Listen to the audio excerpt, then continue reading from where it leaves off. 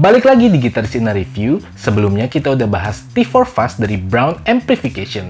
Sekarang kita bakal bahas Protein Dual Overdrive V3. Jadi kalau gue lihat di timeline sosial media, protein ini banyak banget bertebaran di mana-mana. Dari pedal board yang kecil sampai pedal board yang besar, pasti ada aja yang ada protein di dalamnya. Nah, sekarang gue pengen nunjukin ke teman-teman semua kenapa si protein dual overdrive ini banyak banget dicari sama orang.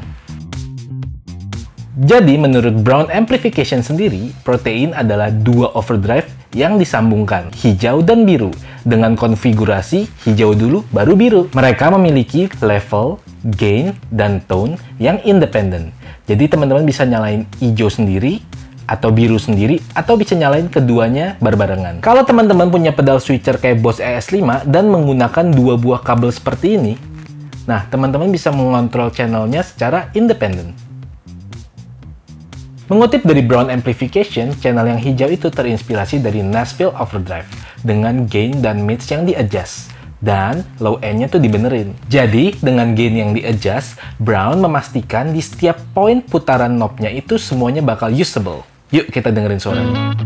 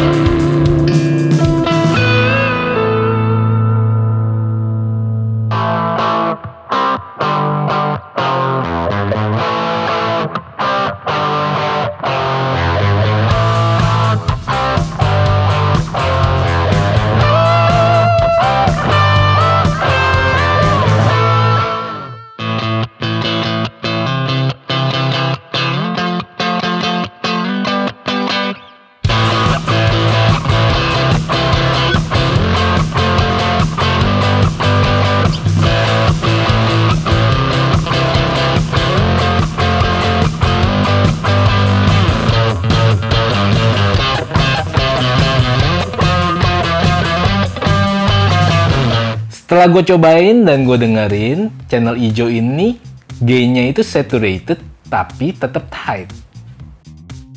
Sekarang kita ke channel yang biru. Nah, gue mengutip dari websitenya Brown Amplification kalau channel biru ini terinspirasi dari pedal yang digunakan John Mayer di album ini.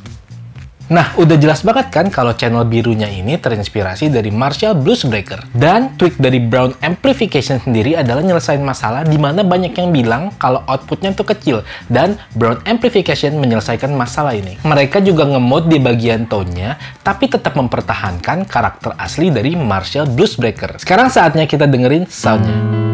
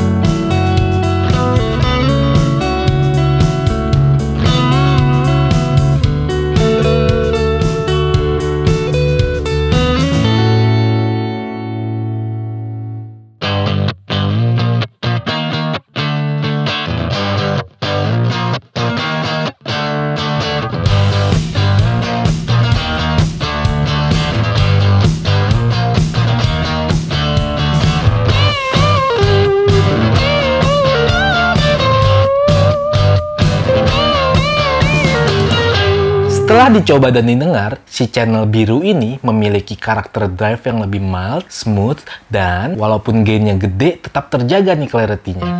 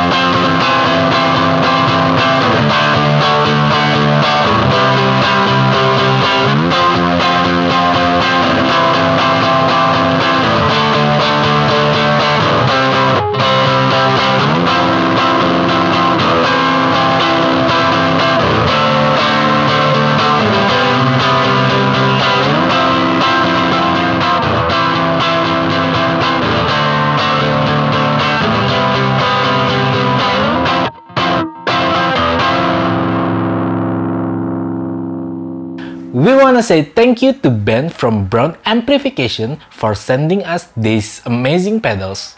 Terima kasih buat teman-teman yang sudah menonton video ini. Semoga video ini bermanfaat buat teman-teman semua. Hope you enjoy.